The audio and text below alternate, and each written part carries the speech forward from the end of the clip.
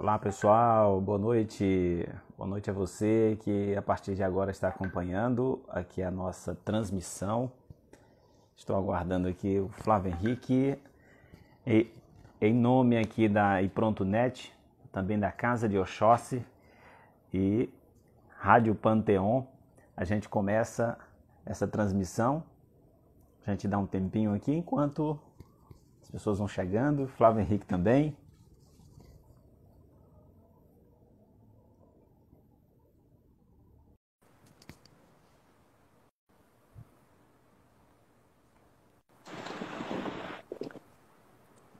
Julimar, boa noite, bem-vindo.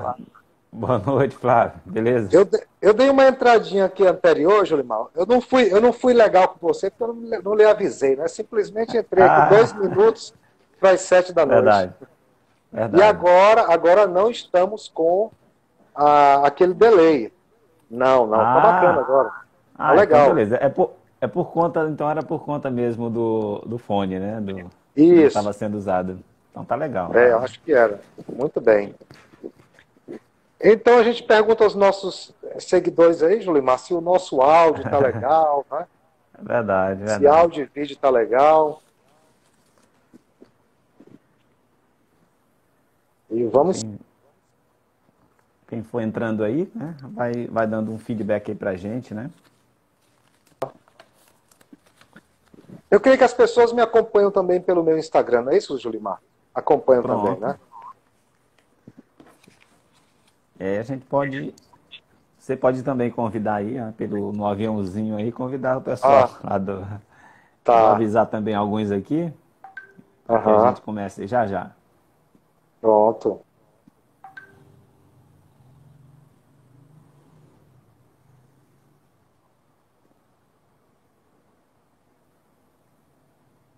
E aqui eu vou enviando os convites. Verdade. Mas tudo tranquilo, né, Flávio? Beleza. Tudo tranquilo, fora essa oscilação de temperatura, porque eu falei agora há pouco. Eu entrei lá pelo é meu Insta. A gente tem tido madrugadas frias, manhãs ventiladas, tarde muito quente e à noite é misto, não é? E à noite é um é misto é de temperatura. Mas é bom, eu gosto disso, eu gosto muito disso. Tem feito um frio danado, né, esses dias? Muito, Verdade. muito, muito, muito. Julimar, você tem feito muitas lives, não é, Julimar? Você tem feito muitas é verdade, lives. Eu tô, tô movimentando o canal agora, ah, porque as bem. pessoas movimentando aí. E uhum. chama atenção aí, a, rapaz, essa última informação aqui da, de há pouco, né? A, a situação. Eu tô aqui enviando. Lá, uma grande, grande explosão lá e deixou mais de 70 pessoas mortas né, já e mais de 3 mil feridos. Uma tragédia, Terrível. Realmente. Terrível. Tragédia realmente. realmente. Pois é, Flávio. Eu estava aqui também acompanhando, porque no momento em que a gente está aqui iniciando a nossa conversa, é, tem outros candidatos aí pelo Brasil, pré-candidatos, perdão. Sim, fazendo, fazendo lives. Fazendo live. Eu estava acompanhando Sim. aqui, nesse momento também está acontecendo lá em Fortaleza, Sim. uma conversa dos pré-candidatos dos pré que fazem parte do PDT. E lá a sucessão vai ser bem concorrida, porque só os bem quadros do, do PDT são quadros importantíssimos lá e o Ciro está coordenando lá o debate entre os, os pré-candidatos do partido. É imagino, interessante. Ele interessante que não para aí, com é. as lives, né? Exato, só ele já fez mais de 100 nesse período da pandemia. Nossa, muita coisa. Mais de 100 com vários veículos de comunicação. Então, Muito assim, é... Flávio, eu quero primeiramente dar uma boa noite a você e agradecer pela sua disponibilidade, né? Porque a gente sabe que quando é, quando se está num período como esse, que é de pré-campanha também, ele, ele consome também muito tempo da gente, bastante, né? Bastante, bastante. Mas é aí, é uma honra. Embora, é uma honra. embora eu não tenha, eu não seja candidato, mas eu observo que tá. o, a rotina muda totalmente, né? Você totalmente. O ritmo aumenta consideravelmente. Sem dúvidas, sem dúvidas. Mas muito bem, eu tô, eu tô aqui com um apresentador de televisão. A, minha visão é o do apresentador de televisão. Sim. Embora a gente trabalhe como trabalhe como algum tempo já como colegas de trabalho, Sim. É, é incrível como a gente não, não para tanto assim, né, né, Flávio? A gente não para Verdade. tanto como a gente gostaria para bater é. um papo, para conversar, Isso. enfim. Se encontra é rápido ali nos corredores. Exatamente. Mas aí, é, diante dessa, dessa sua pretensão, né, e, e a colocação do, de, do seu nome aí como pré-candidato para a população e, e, já já, depois do dia 15, começa um trabalho já mais intenso já de campanha. Eu Verdade. queria lhe agradecer porque, porque assim, essa é uma conversa que a gente vai acabar é, levando as pessoas um pouco do, do que as pessoas vão avaliar no período Sim. eleitoral né, também. É, primeiro, Flávio, eu queria, eu queria saber, eu acredito que é uma curiosidade também das pessoas, é, saber assim, de onde vem o Flávio Henrique, né? O Flávio Henrique nasceu onde? De, como é que é a família, a família dele? Como é que, como é, que é, é a família dele também é, é tem essa veia política ou nunca, nunca é, se enveredaram por essa via pública? Como é que é? Você, quais são as origens dos seus pais? De onde você vem? Qual é o seu seio familiar? Muito bem. Eu sou o resultado de uma maranhense de Coelho Neto com o piauiense de José de Freitas. A, a conexão do Julimar está travando, mas eu vou continuando aqui. É, Não, tá tranquilo, então, tranquilo. É, você conseguiu escutar até aí, né? Sim, então, sim. eu sou o resultado de, dessa relação de um piauiense de José de Freitas e uma maranhense de Coelho Neto. Não tem ninguém na família, nem de um lado nem do outro, enveredou pelo lado político, né? Uhum. E, mas eu sempre comentava sobre isso. Interessante, o Limar, que eu fazendo dia desse uma retrospectiva e fazendo essa autocrítica. Mas por que mesmo que realmente eu, além das minhas uhum. convicções, de ter essa vocação comunitária e tal, por que, que eu resolvi seguir, é, tentar a carreira política, não é? Aliás, carreira, eu não gosto de chamar isso de carreira, mas tentar o segmento político. Eu lembro iniciar na vida era, pública, né? Isso, iniciar na vida pública. Quando eu era muito jovem, 14, 15, 16 anos, que tinha propaganda política na TV, enquanto o pessoal da casa todo saía ou desligava a TV, não sei se acompanhou esse tempo, chegava a hora da propaganda política, desliga a TV, sai todo mundo. Eu ficava para ver os políticos falando, eu achava interessante aquilo ali. Eu achava Muito que eu bom. tinha alguma coisa para aprender com aquilo ali. Então a minha origem, eu nasci, voltando né, à origem, eu nasci em Teresina, ali na uhum. maternidade Dona Evangelina Rosa. Sim, e a propósito, é, é, aliás, não nasci na Evangelina Rosa. Meus uhum. pais moram perto da Evangelina. Quando eu nasci, era a, a, uhum. maternidade era em outro ponto. Sim. E, então, metade da minha vida foi em Teresina e a outra metade da minha vida em Caxias. Eu tenho Legal. 50 anos e, aliás, mais da metade da minha vida é em Caxias. Ainda desse você, lado então pessoal. Então você é, você é um piauiense, é isso? Exatamente, sou piauiense, mas é incrível como a gente cria uma relação forte com a cidade onde a gente vive. Eu adotei Caxias como a minha cidade, Julimar. Uhum. E hoje a gente retorna à nossa terra natal e a gente não encontra mais os amigos de outrora. A gente é não verdade. encontra mais os colegas, não encontra, porque cada um seguiu um rumo. Muitos foram morar fora e eu, e eu encontro pelas redes sociais. Quando eu vou em Teresina é para resolver alguma coisa, para visitar a família, eu encontro pessoas estranhas. Minha família hoje é em Caxias. Os meus filhos nasceram aqui. Eu casei com a caxiense, meus filhos nasceram aqui. Os meus laços aqui, né? Muitos. Os meus vínculos de trabalho são aqui. Eu já saí para trabalhar fora por algumas vezes, mas sempre voltei para Caxias. Uhum. Então, meu vínculo com a cidade é muito forte. É muito forte. É eu não consigo ficar longe daqui, não consigo. E aí, é, em Caxias, é, é a minha ideia quando eu vim para cá era para passar um ano. Eu fui convidado aqui para o Sistema Veneza de Comunicação e eu pensava assim: eu quero passar só um hum. ano em Caxias. Vou passar só um ano. E vou sair. Esse um ano foi passando, já são quase 30 anos e eu continuo por aqui com muita honra, com muito orgulho.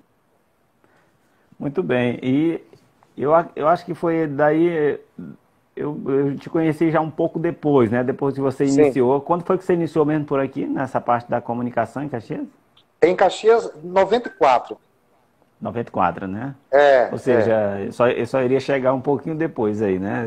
Isso, isso, isso. Dez anos depois eu estaria. Isso. A gente estaria iniciando uma amizade aí lá, lá pela TV Sinal Verde, né? Na, na época era é, TV Difusora é. Caxias, né? Isso. E eu comecei, Gilmar, na década de 90 no Piauí. Em Altos, ah. no Piauí, a terra da manga. Sim. E... Terra da manga. Pois é, Flávio. E aí, você sempre gostou de atuar mesmo na TV ou você começou mesmo pelo rádio? Como é que foi isso? Pelo rádio. Lá em Altos, no Piauí, eu comecei numa rádio AM uhum. e eu nem imaginava que ia para a TV. Eu achava que ia ficar sempre no rádio. Aí, é, da rádio AM em Altos, no Piauí, fui convidado para a região Tocantina, a Sailândia Imperatriz, passei uma uhum. temporada, e lá eu comecei na TV, TV Cidade, era a Rede Bandeirantes lá. Interessante foi assim, Julimar, eu fui para a região Tocantina para trabalhar numa rádio. Não tinha nenhuma experiência de TV. E chegando lá em, em, em Açailândia, a diretora vira para mim e diz, olha, Flávio Henrique, você veio para trabalhar em rádio aqui do grupo, ok. Mas nós não temos vaga em rádio. Tem na TV. Se você quiser, Aí eu disse, vou aceitar esse desafio, quero sim, vamos fazer um teste para apresentador. E eu fiz o Olha teste, aí. passei uma semana de adequação, de treinamento, fui ficando e aí não quis mais uhum. largar a TV. Cumprimentos Muito aqui bom. a Vera Baldez, da revista Saúde News Nordeste. Grande abraço a tá Vera, tá que é radialista. É radialista é? também. Grande é radialista, aí. jornalista. É Vera, né? É isso? É a Vera Baldez, da revista Saúde News Nordeste. Vera Baldez. Um abraço é. aí, Vera. Tá com a gente também. Uhum. Olha só. É, Flávio, é... Amanda Catarina, aí, um abraço. Muito bem. E você, você sempre... É, eu tô, pelo que eu estou observando, você, é, você gosta, você é assim muito... Você não gosta de ficar num projeto apenas, você gosta de ficar, você gosta de atuar também em várias outras áreas. É, você atuou é. também nessa parte de, de, bingos? Como é que foi essa parte? Como ah, é que você ingressou nesse, nesse ramo aí? Olha, Gilmar, são tantas coisas que a gente fez que a gente acaba esquecendo. É verdade. Todas as coisas profissionais que foram acontecendo na minha vida foram desafios e eu confesso a você e a você, seguidor. Acredite no que eu estou dizendo. Digo isso em nome dos meus filhos, em nome de Jesus, que a gente não pode mentir em nome de Deus. É. Todos esses desafios que surgiram foram desafios que no primeiro momento eu não acreditei em mim mesmo. Na é TV mesmo. foi assim, é, na TV foi assim, eu disse, não, isso não dá para mim. Não dá, não dá, não dá. E as pessoas que viam eu iniciando insistiam, dá, você vai ter que fazer, dá. No, no, na apresentação dos telesorteios aos domingos, ou bingos, nesses moldes é, de sorteios aos domingos, eu apresentei durante uhum. 10 anos em 10 cidades do Maranhão. Olha. Comecei por Caxias e foi do mesmo jeito. Aconteceu um, um, um teste seletivo é, há muito tempo atrás, acho que mais de 10 anos atrás. E naquele momento eu fiz o teste para testar, sem nenhuma muita pretensão. saber se dava, né? É, saber se dava. Aí eu comecei uma tosse, eu comecei um cansaço, porque o bingo, o sorteio, tem um ritmo muito frenético. Frenético, Um é ritmo muito forte e o raciocínio muito rápido e uma atenção redobrada. E eu disse: não, isso não dá para mim, eu estou tossindo, eu estou cansado. E o dono do sorteio gostou demais e disse: dá sim, você vai conseguir. Nem que a gente fique aqui até uma hora da manhã. Olha aí. E foi na época na TV Difusora, Caxias, hoje Sinal Verde, TV Difusora, e eu fiquei realmente com ele até meia-noite, uma da manhã, ele me orientando, porque ele tinha experiência de apresentação. Trabalhando ali. Trabalhando ali. E ele decidiu por mim, queria que fosse eu, e na estreia foi um sucesso absoluto. Aí não, Jolimar, aí pronto. Aí eu fiquei à vontade, aí eu criei confiança, aí eu digo, não, eu sou o apresentador, eu sou o cara aqui. Com toda humildade, é claro. Aí eu criei uhum. confiança, acreditei em mim e pronto. Muito Dali bom. eu fui convidado para Bacapau, para Santa Inês, para Alto Alegre, para Pedreiras, para tantas outras cidades, para Timon, até para o Mato Grosso. No Mato Grosso eu só não fui porque eu tinha compromissos aqui, não dava. Mas até para o Mato Grosso me chamaram. E aí eu passei teve convite, né? É, inclusive, ainda esse ano, no final do ano passado, eu ainda apresentei na TV Guanaré. Sim, é verdade. É, verdade. durante muito tempo. É, e mas, mas você, ao tempo em que estava fazendo essa parte de bingo, também estava atuando no jornalismo, é isso? Sim, também atuando no jornalismo, na TV Guanaré, como apresentador, e também atuando como assessor de imprensa da Secretaria Municipal de, de Saúde. É, é, verdade, é verdade. Outro desafio. Você já tinha atuado no serviço público antes disso ou não? Não, não, foi a primeira vez aqui em Caxias. Primeira vez, né? Primeira vez. É, antes disso, uhum. nesse segmento de assessoria de imprensa, a primeira experiência foi no Sebrae Regional Caxias. Ah! Outro mas era desafio. No, no, ambiente, era no ambiente privado, no ambiente mas no ambiente privado, né? É. Exato. E na época eu trabalhava na, na, lá na TV Difusora, me foi feito o convite para participar do processo seletivo. Sim. E eu mais uma vez disse, não dá para mim. Mas por que, que eu disse não dá para mim? Eu digo, olha, eu tenho um compromisso com a TV. O Sebrae Caxias, na época, cobria 17 municípios. Eu disse, não, isso não dá, eu não vou ter como, como dar assistência a isso aí. Aí a pessoa que me convidou disse, não, vai para testar, rapaz. Vai que dá, vai que dá. Vai que dá. Aí eu fui, deu, eu fui remanejando, pedi os colegas lá da, da difusora para fazer o meu horário quando eu tinha que viajar, e com isso eu viajei, Julimar, e, e seguidores, conhecendo 17 municípios maranhenses e conhecendo de perto o movimento empreendedor, histórias de sucesso, histórias de fracasso, histórias de orientação empreendedora.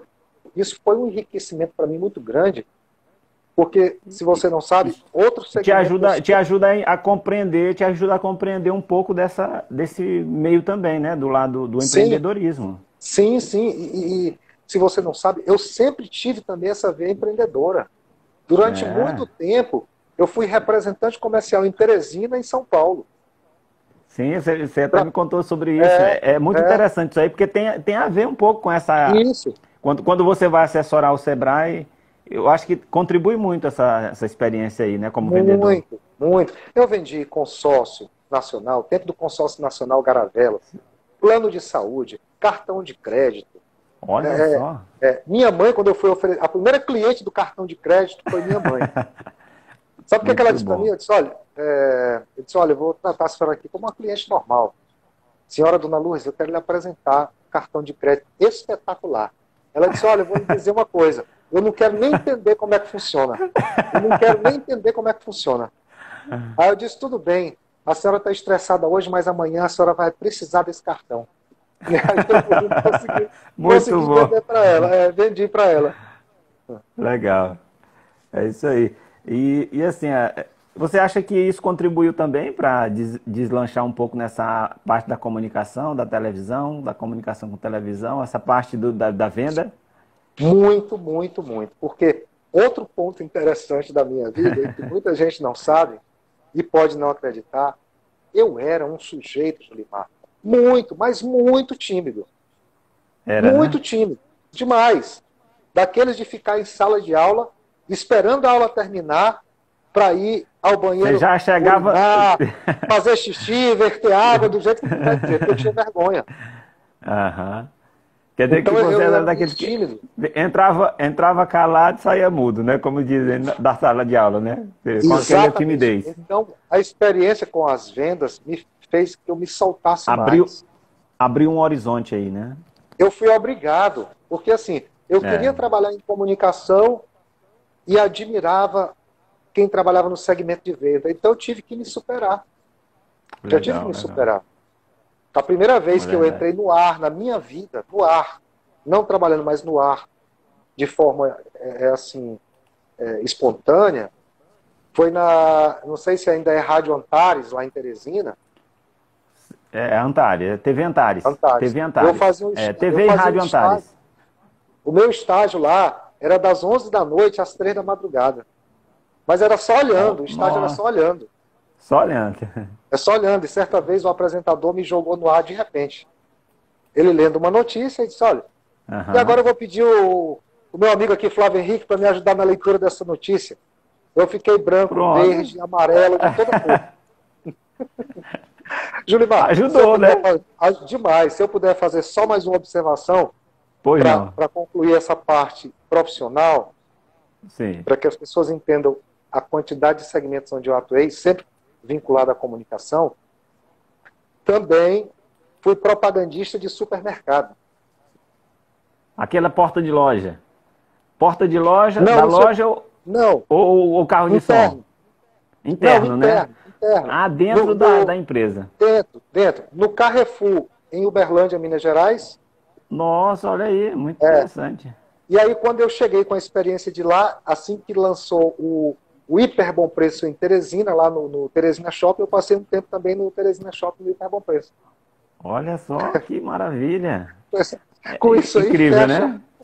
Isso é. É, é, é uma experiência muito importante. Muito. É, muito. Eu acredito que, que, essa daí talvez seja uma das mais interessantes para a área da. para te para você trabalhar na, na, na, televisão, quem sabe, é, né? porque isso. ou no rádio, porque gera muita capacidade de improviso na pessoa também. Né? Muita, né? muita, muita, é verdade, é verdade. Muito bem, rapaz. Olha só, nós estamos conversando aqui com o Flávio Henrique, Flávio Henrique agora também é, ele está em, empreendendo aí um novo projeto, né? novas, novas perspectivas, novos horizontes, novos desafios. Né? Então é, é. sempre é. importante você. E aí a gente está tratando aqui um pouco da. Primeiro dessa parte da trajetória profissional dele, né? De, de onde ele vem. Ele vem Observação. Tem, tem, tem coração caxiense, né? Muito. Observação. A pretensão política é mais um dos projetos que quando os amigos me convidavam, me falavam, eu dizia, não dá para mim. Não dá. É, é, já, não também, você chegou a, a dizer isso também Cheguei. lá? Cheguei. Olha é só. tanto que era para eu entrar, no pleito passado era para eu concorrer, eu não quis. Quem sabe, quem sabe você pode ser surpreendido aí mais uma vez. Né? É, é verdade. É verdade. Espero em é Deus muito interessante. É. Mas aí, mas e o que, o que fez assim, você chegar a essa conclusão de que é, agora é o momento, né? Tá. Agora é okay. o momento de aceitar um convite como esse para ser um pré-candidato. Primeiro, certo. eu queria que você falasse como é que qual é o qual foi o partido que lhe flertou, né? Ah, bom, podemos dar uns alôs aqui para as pessoas que estão entrando antes, só para a gente não, não, não. contemplar. É verdade. É. Jolimar, depois de 40 tem que ser de óculos, eu sempre digo isso. Ah. Não sei se você está nessa faixa aí. Olha, a, já estamos aí, já é, sim, Perfumes da Andréia, Perfumes da Andréia. Verdade. Amanda Catarina, Revista Saúde News, a Elva Roberto Cerejo. Roberto Cerejo, grande figura Roberto Cerejo. É, Juliana Pereira, Costa Nete. Elvanir. Elvani, Rita, Sonhadora, o Paulo Moura entrou mais cedo. Bom, você perguntou sobre a questão do, do partido político, né? Exato. Qual foi o partido aí que, que flertou com você e diz, eu, eu, queremos lhe convidar para também fazer parte desse, dessa, dessa ideia, desse projeto? Bom, primeiro, é, os amigos, a família, os colegas de trabalho, os telespectadores, as pessoas que eu encontrava por aí, desde a campanha passada, vinham me, me estimulando, perguntando, me instigando. Você e não aí, tem interesse, não, pela vida isso, pública? Isso, isso, isso, isso. Flávio Henrique, rapaz, você tem que ser um vereador, rapaz. Flávio Henrique, rapaz, você tem que falar por nós. Olha rapaz, aí. você ajuda tanta gente, por que você não entra na vida pública? Começou assim. Legal. Como você tem um coração tão bom. Rapaz, você ouve tanta gente. Eu sempre tive esse hábito de ouvir. Sim. Sempre. Eu paro e escuto.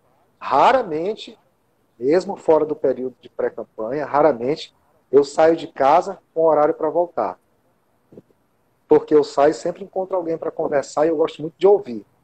Então, veio muito esses estímulos, esses convites. Quando eu disse sim, foi final do ano passado, outubro, novembro, eu me declarei como pré-candidato a vereador.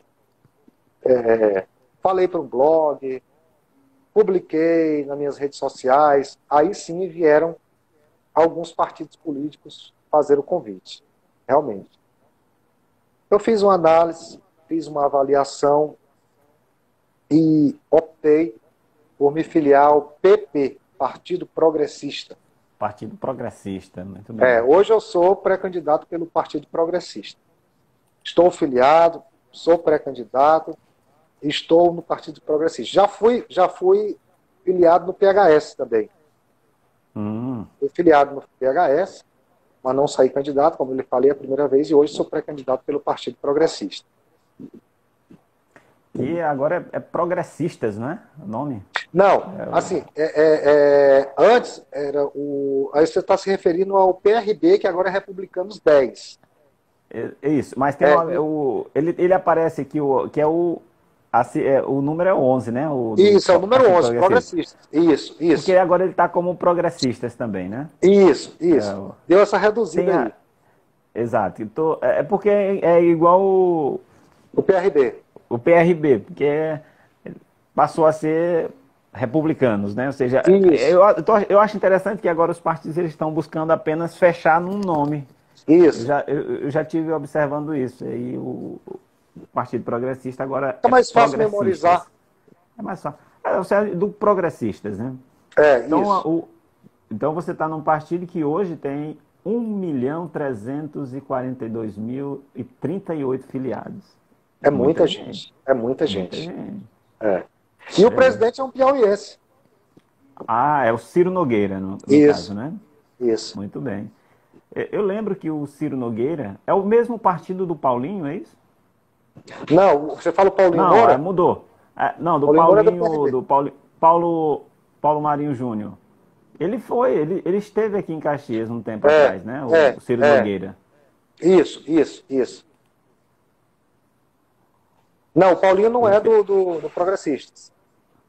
Ah, é do PL, é verdade. Isso, é, agora, isso. Ele agora tá, ele mudou para o PL, eu lembro isso, disso, é verdade. Isso. Que é do Josimar Marãozinho, né? Isso.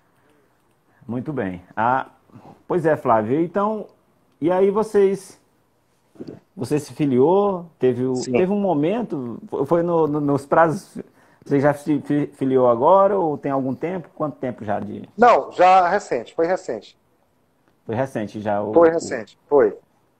Dentro da janela conversa... partidária, né? Dentro, dentro da, janela... da, janela... partidária, já ali, ah. é, no, dentro do prazo, ah. enfim. E aí a gente está nessa Para ter caminhada. condições de disputar, né? Para ter condições de isso. disputar também o pleito, né? Isso, isso, isso. Mas, mas e aí? É, já tem, já, no caso de vocês, já tem uma previsão de, de quando acontece a, a parte da. Eh, Convenção? As convenções, as convenções já tem uma as convenções, prevista? É, do final de agosto a começo de setembro fica disponível já as convenções partidárias. Aí a gente se torna candidato de fato. Mas direito. vocês ainda não têm uma data fechada ainda não, né? Ainda não, vão não, não. O partido não informou é. para a gente ainda a data fechada, não. Ah, a gente está se integrando cada dia mais, estamos nos reunindo, Sim. conversando, né? E conversando com Você... o povo na rua também. Você me falou que tem, tem essa, esse, esse diálogo, esse contato mais próximo, porque, é claro, você já tem uma, essa, essa, esse diálogo constante. Todo dia, Sim. isso aí é, é, da sua vivência mesmo, você é. gosta de conversar com as pessoas. Gosto. Mas você tem me falado assim que tem tido muito, muitos aprendizados também, né, desse período, Sim. desde que iniciou. Sim. É, o contato tem aumentado, as pessoas lhe, lhe, lhe convidam para uma reunião, tem sempre reunião, tem sempre muitos convites, como é que é isso? Como é que funciona essa parte aí? Bastante. Inclusive tem alguns convites que me surpreendem, que vêm pelo Facebook, por exemplo, pessoas que tem muito tempo que eu não converso e entra lá pelo Facebook, ah, você é pré-candidato, não é, Flávio? Me confirma aí. Sou. Outros dizem, ah, você é candidato. Não, candidato ainda não sou, sou pré. A gente é vai chegar lá. Exato. Isso. É, pode Porque vir na minha a... casa, dá pra gente conversar. Olha e a gente, a gente vai fazendo. É. A formalização realmente é que diz que você é o candidato, né? É, é. E está acontecendo muito também, Julimar, assim, é, videochamadas, né? Tem muitos amigos Sim. que querem fazer videochamadas e a gente vai fazendo. Ah, você você está fazendo também, né? Essa faço, parte aí de alguns colegas. Faço. Muito interessante. Faço. Ó, tá chegando é. aí o Vimarinho, o Luiz Fernando, olha aí. Só gente boa, só gente bacana. Só... É verdade. Muito bem. E aí, Flávio, então você, você foi convidado aí pelo PP, já, Sim. você já está nesse processo aí de pré-campanha, né? Você já é. já está dialogando com as pessoas. É, como é que como é que você tem para você como é que tem sido esse ambiente já mais da, da convivência, né, com as personalidades da política, né? Porque Sim. É, porque é claro que antes de, de, de, de, se filiar, você tinha um pouco mais de contato com a turma da comunicação, é, né? É, Era com a vivência é, do serviço público, enfim. Mas agora você está também é, entrando numa, numa seara que é uma, é uma área também que você percebe uma competição também aí. Como é que funciona essa parte? É verdade. Cumprimentar cada um, aqui o Luiz Cada um. Ca... Sim, pois não. É, pessoas maravilhosas e profissionais brilhantes, ele está dizendo aqui. Obrigado, Luiz Fernando. Olha aí, um grande abraço, Luiz Fernando. o Luiz Fernando que Depois... também é pré-candidato. Pré-candidato, né? Depois a gente é, conversa é. também aí, viu, Luiz Fernando? É, Luiz, Depois a gente marca uma conversa, viu? É. Bom, Julimar, assim, é, eu acho que, que para você, por exemplo, ter uma pretensão política, primeiro você tem que ter vocação comunitária. Se você é não tiver isso, esqueça. Você tem que gostar de gente. Você tem que gostar de ouvir. Você tem que ter predisposição para estar nos mais diversos lugares, do mais simples ao mais sofisticado. Mas é verdade. E você tem que Isso ter é equilíbrio e inteligência para saber mensurar, equilibrar e tentar encontrar soluções para as necessidades, para as demandas das pessoas. Já na seara política, com os políticos e com as pessoas que transitam nesse meio, eu tenho aprendido muito da questão da questão técnica da política, digamos assim. Sim. Dos caminhos que tem que percorrer, de é como, é verdade, são, essa... como são as dificuldades do dia a dia. No linguajar político, no linguajar, linguajar mesmo da política, dizem que é o é você precisa saber onde as andorinhas dormem, né? Porque é, é saber a quem pedir uma determinadas, é, determinadas demandas que chegam até você, né? Porque às isso. vezes, às vezes eu queria até que você conversasse também sobre isso. Uhum. Muitas vezes você tá, você tá, a sua pretensão nesse primeiro momento, você é pré-candidato, mas você está pretendendo, né? Uma Sim. possibilidade aí no legislativo. E muitas Sim. pessoas confundem. E aí nós temos é, que também, eu acredito que você deve estar se deparando também com isso. Sim. É, da confusão que o próprio eleitor também faz do papel do vereador e do prefeito, né? As pessoas Sim. às vezes acham que o vereador pode fazer coisa que é do, da atribuição do prefeito. Eu queria que você isso. É verdade que isso aí acontece na vida diária? Acontece, Limar. Inclusive, eu tenho até uma proposta nesse sentido. Eu já tenho uma, é? uma, uma, ideia de proposta nesse sentido, pensando Muito nisso. Muito interessante. Muito interessante. O que acontece? Criou-se criou-se um costume, digamos assim, criou-se um conceito de que o vereador, por exemplo, é aquele que é aquele que dá benécias, é. bens materiais, que consegue isso ou aquilo. Dá uma carrada de barro aqui, né? Exatamente, é. É, é, na, é, exatamente. Na política arcaica se fazia muito isso. Infelizmente, lamentamos que às vezes, talvez ainda vemos alguém fazendo, né, o que não é exato, é correto. Exato. Exatamente. O vereador, em primeiro lugar, a meu ver, é o empregado do povo, é um elo entre a população e suas demandas e o poder executivo, que é o prefeito, que é a prefeitura, que são os secretários. E é um, um, um propositor de, de, de leis, de ideias, de demandas de ruas, de praças, de avenidas, de serviço social, de saúde, de iluminação, de infraestrutura. É aquele, é aquele empregado público que o cidadão daquela rua, daquele bairro, da cidade como um todo, vai procurar quando precisar resolver alguma demanda. Mas e, é claro, é também, tem também o papel de fiscalizador do executivo. Vai acompanhar se, a, vai acompanhar... se aquelas. Exatamente. Eu Saber assim... se aquilo que a população pediu realmente está sendo executado, né? Exatamente, exatamente. Eu acho que na hora que o político se conscientizar que ele é empregado do povo e que o povo uhum. é o seu único patrão, que lhe, deu, que lhe admitiu e que pode lhe demitir na próxima legislatura, Isso, ele vai se comportar como político. E você, você acha que é importante apostar, apostar também nessa ideia de conscientização junto à população sobre o papel de cada, de cada político realmente? Cada... Sim. É interessante que a gente não vê muito. Assim, pelo que eu observo, né? Eu, eu observo essa parte aí. A, a população ela ainda bate muito na porta do, do vereador como se ele fosse a solução, como se ele fosse o, o executor. E aí, é, você acha que, pelo que você observa, né, vou, vou, vou ficar nas perguntas para não dar respostas, né? Mas você acha que a, a população ainda vai demorar um pouco a quebrar essa barreira de, de olhar o vereador como o, o vereador e não como executor, né? como, como um legislador e não como um executor? Eu acho, Luimar, que hoje nós temos uma ferramenta muito importante chamada rede social.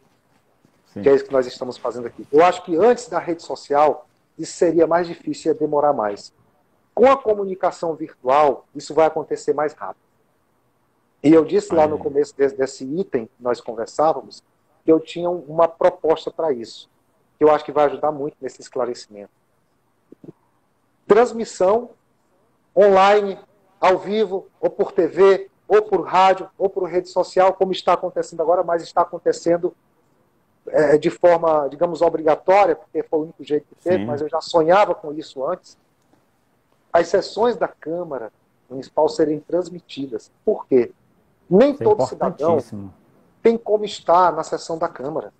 E, e, cidadão... e digas de passagem, digas de passagem, dá muito mais audiência até do que as presenciais, sabia? Claro.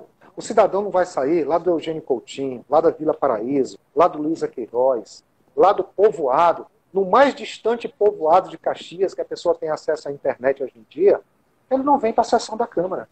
E ele acompanhando é, é... o conforto do seu lar, ele vai poder fiscalizar e ver Verdade, o que, que o, pessoa... o seu vereador está fazendo.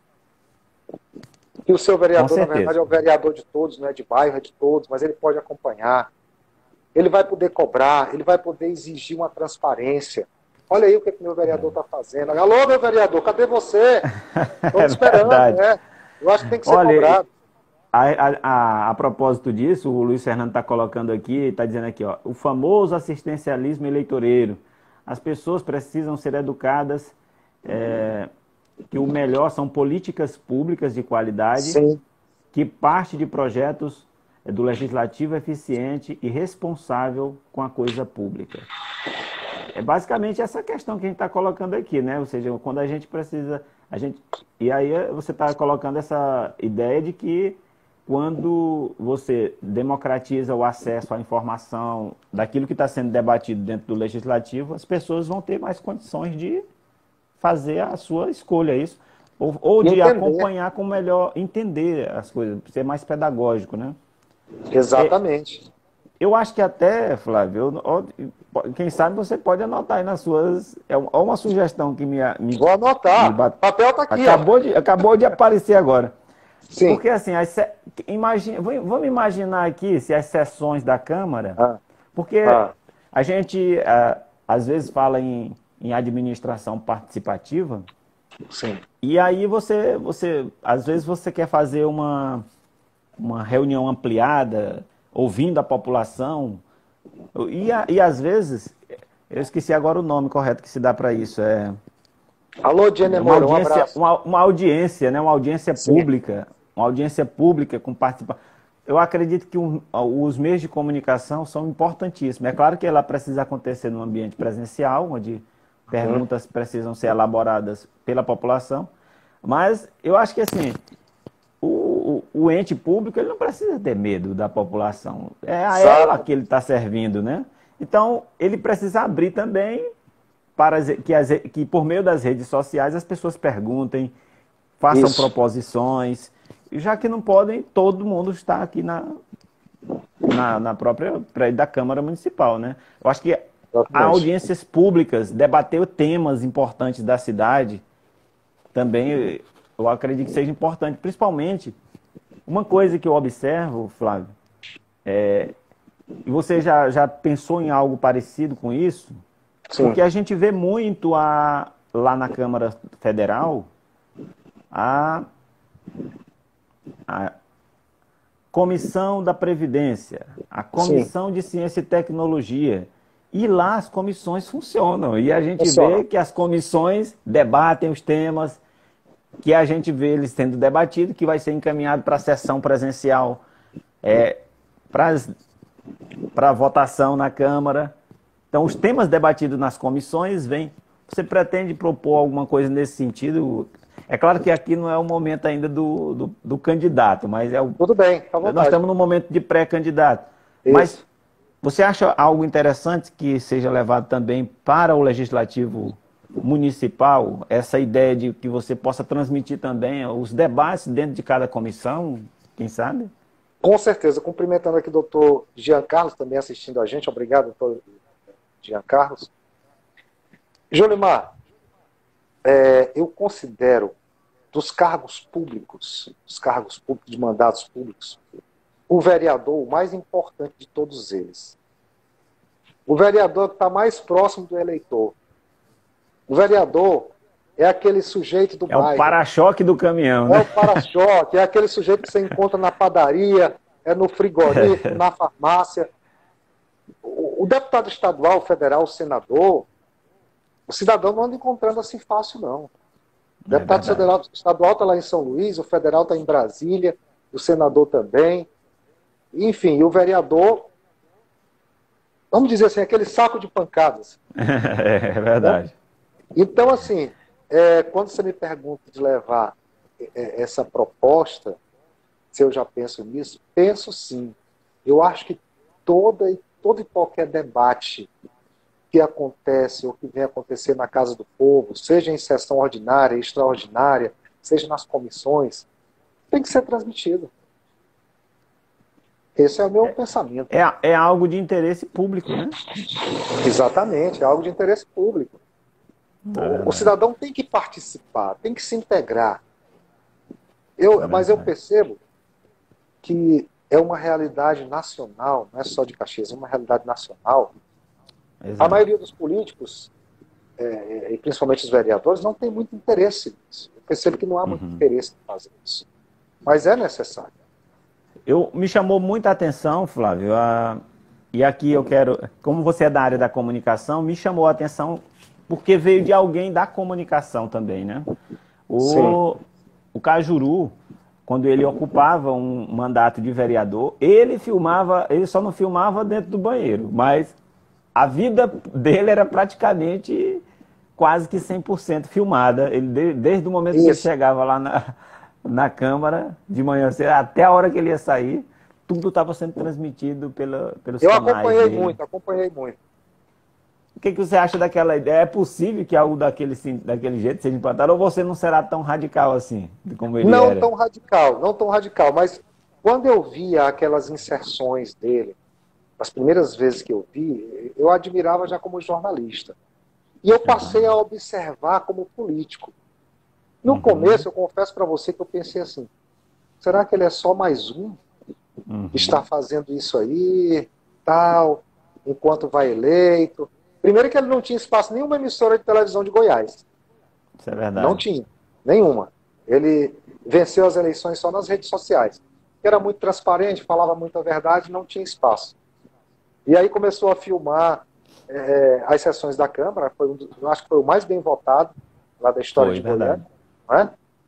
E, e me parece aceitava... que ele, me, me, ele chegou a ser deputado estadual, chegou? Não, não, ele foi o único. Ele, ele já foi de vereador para senador? Para senador, foi o único Cara, no Brasil. Que pulo, é, hein? Foi o único, foi. E aí ele, ele era engraçado demais, ele não aceitava cafezinho da Câmara, gasolina da Câmara, motorista Verdade, da Câmara, eu vi isso aí. não aceitava nada. Eu, eu isso achei aí. isso interessante, achei muito interessante. Julimar, a meu ver, um parlamentar já ganha muito bem. É. Já ganha muito bem para desenvolver o seu trabalho. Eu não digo que ele ganha bem, não é para suas necessidades. Claro que ele tem que ter, ele tem que também ter a sua subsistência. é um pagamento também que ele tem, né? mas ele Sim. ganha bem para desenvolver o seu trabalho. Para poder se deslocar, para poder atender um eleitor, para poder atender uma demanda. Então, para que tanta regalia? Para que tantos privilégios? Né? Como eu disse no começo da nossa conversa, política não é uma carreira, política não é uma profissão, é uma vocação, é, é um mandado de Deus, é um chamamento do povo. É isso que eu vejo na política. Você, é, você acredita nessa proposta que é, que é do, do ambiente político realmente, que, a, que é da própria política mesmo, de dar resoluções a problemas? Você acredita que a política ela é esse local, esse ambiente de solução de, de demandas mesmo da população? De, essa, essa na sua visão, como é que você é, posiciona é assim, quanto a isso? O que eu penso quanto a isso? é para que seja. Mas que se não for, que seja pelo menos um ambiente da discussão dessas demandas discussão. e da busca de solução. É aí onde a importância de entrar o povo participando, acompanhando através de uma live, através de uma rede social.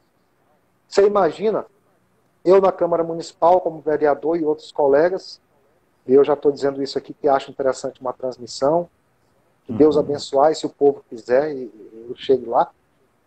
É, um, um telespectador, um, um, seguidor da rede social, está me acompanhando numa sessão da Câmara e eu faço uma, uma, uma, uma sugestão, uma proposta de tantas que eu tenho aqui, como, por exemplo, essa de, da transmissão das sessões da Câmara, aumentar uhum. o número de especialidades médicas, multiplicar o número de câmeras de monitoramento, colocar é, um, um, um pré-concurso para os alunos da rede uhum. municipal pelo menos uma vez por semana, para dar mais oportunidade. E quando eu estiver discutindo isso, alguém puder intervir e mandar uma mensagem. Olha, uhum. atenção, vereador Flávio Henrique, não é assim que eu penso.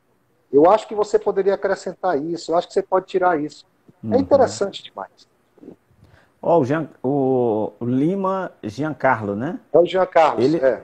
Ele está perguntando aqui qual será a sua principal bandeira, né? Uma vez na Câmara Municipal. É, eu até é, citei algumas coisas aqui. O que, que eu penso, doutor Jean? Obrigado pela sua intervenção. É, é, porque assim, é, eu acho que a pergunta dele ela é interessante por conta da. Porque assim, às vezes o, o, o vereador, quando ele. Lá na campanha mesmo, ele já diz o que, que ele vai defender lá dentro, né? Exemplo, eu sou é. o vereador da saúde, eu sou o vereador da educação, e aí, ele, eu acho que a pergunta dele vai nessa direção. Você, qual é a sua principal bandeira? É a educação? É a saúde? É a eu comunicação? Tenho, eu tenho um pensamento sobre isso. O que, que acontece? Você falou muito bem. É, o senhor José Fulano de Tal, que trabalhou durante 30 anos no sindicato tal, é o vereador Sim. da agricultura. O senhor Jean Carlos, vou dizer aqui para o doutor Jean, que eu acho que ele não tem pretensão política, mas vou dizer. O senhor Jean Carlos é médico, meu amigo Jean Carlos é médico há tantos anos vai levantar a bandeira da saúde porque tratou muita gente, atendeu muitos pacientes, conhece as demandas da saúde. Eu cheguei, eu pensei muito sobre isso, Julimar, e eu sabia que ao longo da pré-campanha e campanha, muita gente ia me perguntar isso. Então, uhum. assim, como a minha atuação ao longo de quase 30 anos foi basicamente na comunicação, uhum. e na uhum. comunicação você tem um leque de diversidades, é na assistência social, é na saúde, é na segurança, é em tudo. É. A gente tá, Você olha para tudo, né? jornalista olha para tudo. E, e, e, trabalhei durante três anos e meio na assessoria de comunicação da Secretaria Municipal de Saúde e no SEBRAE, no empreendedorismo, saí do empreendedorismo para a saúde. Eu Sim. percebi que talvez eu não vá carregar uma bandeira própria. Uhum. Eu não vá carregar uma bandeira única, mas várias bandeiras, por conta certo. do leque de, de atuação que é o comunicador. Mas eu confesso que eu tenho essa, essa afinidade essa atenção pela questão da saúde. Inclusive, até falei agora há pouco, eu, eu, eu sonho com a ampliação, é, é, com a oferta do serviço especializado, das consultas especializadas, que hoje em Caxias nós temos um número muito bom de consultas especializadas. A meu ver, friamente, sem querer puxar para lá do X ou Y, mas friamente, eu que acompanhei, eu acho que o serviço de saúde em Caxias, a oferta é muito boa, se for comparar com outros municípios com a mesma quantidade de habitantes. Uhum. Mas, se pudermos aumentar a oferta do, das consultas especializadas, Se pudermos, por exemplo, e é algo que eu penso muito, eu sonho com isso, é, orientações e capacitações de atendimento. Porque muitas vezes não é que a pessoa que está na linha de frente, a pessoa que está no atendimento, é, o agente comunitário que está na rua, o enfermeiro, o técnico de enfermagem, muitas vezes falta uma, uma pitada de, de orientação para ele de é como ele humanizar mais o atendimento. De como ele pode ele, melhorar muito mais com muito a, mais. a sua atividade. Com a sua atividade. É, é, Flávio, é, essa sua, essa sua observação ela, ela me, me fez lembrar que algo muito interessante que aconteceu na educação lá, em, lá no Ceará. Sim. Porque é, eu estava. Eu, quanto mais eu conheço um pouco da, do Ceará na área da, na, da educação, Sim. mais eu, mais eu fico olhando para o restante do Brasil e como, e como não é fácil fazer o que eles fizeram lá. Sim. Inclusive é reconhecido porque, assim, no Brasil inteiro, né? Hoje é reconhecido no, no Brasil inteiro. Eles, eles já atingiram o índice de 2029, entendeu? Só para ter uma ideia. Então, assim, é interessante que observar, porque lá ele, depois, depois de dar uma boa estrutura escolar, eu estou citando o caso de Sobral, por exemplo, né? Sim. Sobral, eles, eles deram uma ótima estrutura da, da escola, pintaram as escolas, transformaram a escola num ambiente interessante, colocaram carteiras novas, tudo novo na escola, pagaram um bom salário para os professores e o resultado não vinha. Tu acredita? Passou um ano, resultado ruim lá no final. O que está acontecendo?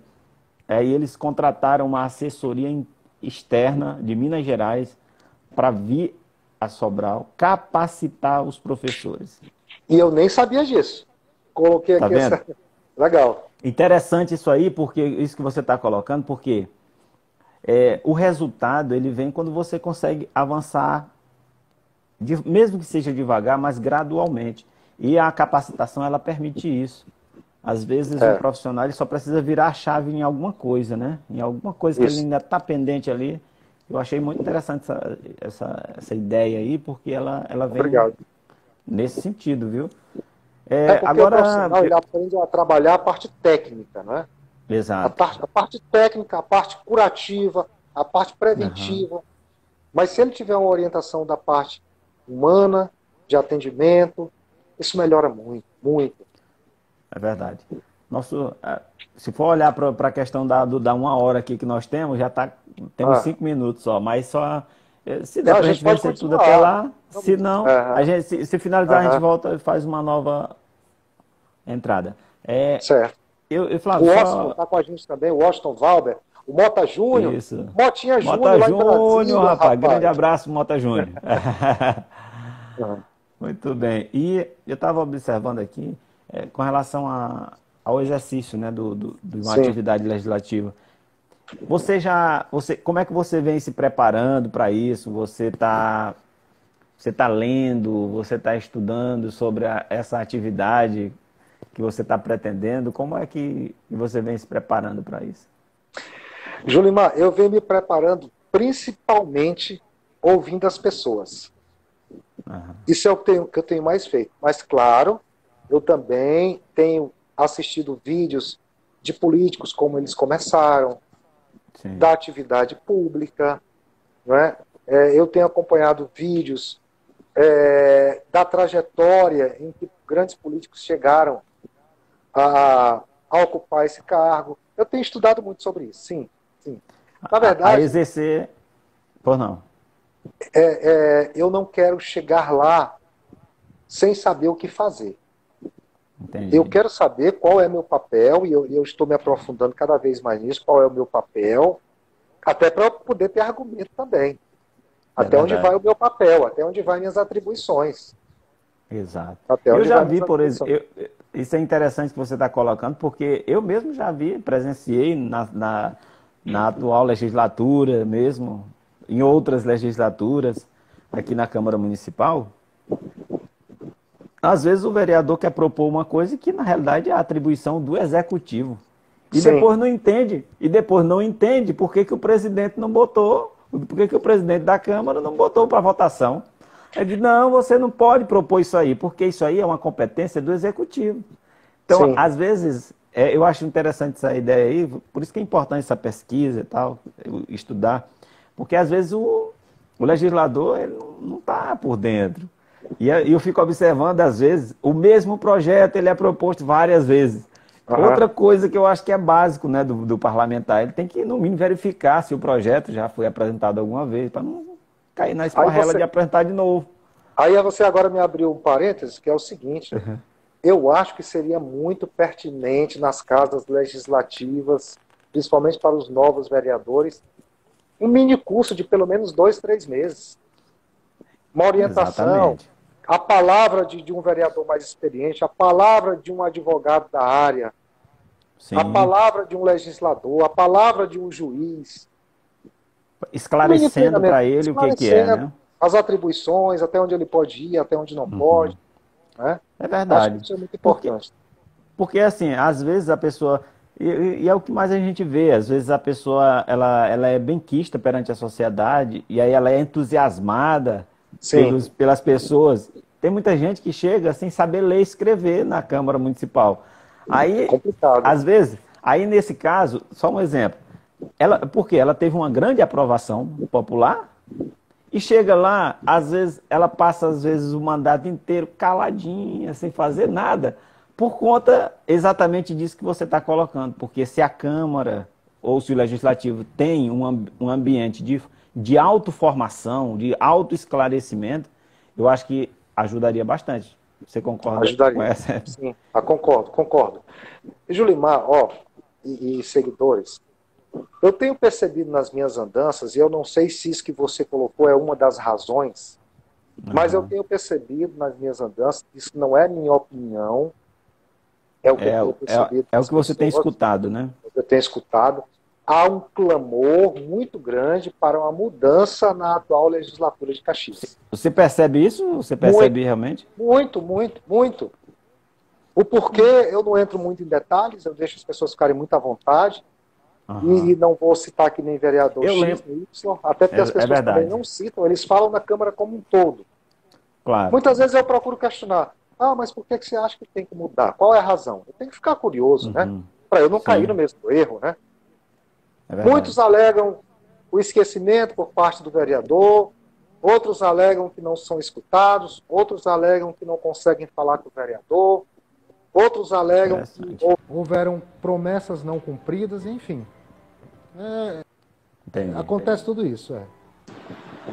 Então, é, é, é, interessante isso aí, Flávio, porque é, é, é um feedback que às vezes, é, às vezes o parlamentar ele está muito ele está muito distante e aí ele não consegue nem saber disso aí, sabia? É, ele não consegue verdade. nem saber como é que a população está é. é, tá pensando sobre ele, né? É, Você o, quer salvar o, a live? Está na hora de salvar ou não? Ainda não, ainda não, ah. não, não, não, encerrou ainda não. O Mas... Washington está dizendo aqui, o Washington, renovação é preciso, sempre bom, novas oportunidades, novos projetos. Exato. É daqui ele, ele disse, ele mesmo disse antes aqui que capacitação e humanização são necessárias, principalmente em tempos tão difíceis após a pandemia e pós-pandemia. Ah, muita é, realmente... gente comenta assim também, Julimar. Olha, eu acho que os vereadores que estão aí têm que dar espaço para novos vereadores, para as novas ideias. Temos que testar os novos, mas também se os novos não derem resultado, a gente tira. É interessante isso aí. É. Muito interessante. É. Agora é aquela história, né? Ou seja, a gente escuta tudo isso aí, realmente. Eu não é, não é só você não, eu também tenho escutado, é um monte de coisa. É, só que isso aí depende muito da população, né? Quem tem que, quem tem que fazer a diferença é a população é lá fora, né? É verdade, é, é verdade. Isso aí é. Agora, Flávio, você, você já compreende qual é a atribuição mesmo do vereador, assim? Você já, já compreende a, a, a importância dessa função? Assim? Sim, inclusive eu, eu vejo, Limar, como uma, uma função, uma ocupação é, de gente muito corajosa, viu? É, muito corajosa. Inclusive, eu já achava que era assim, e depois que eu me propus a essa nova trajetória, eu tenho visto que é, é, é algo de gente muito corajosa. Flávio, assim, em, ah. em, em, em 12 segundos vai, vai encerrar. Então, Não, então eu já pode, vou, pode eu vou, eu vou logo, salvar tá. e aí em seguida a gente volta, viu? Tudo bem. Para você responder essa questão aí.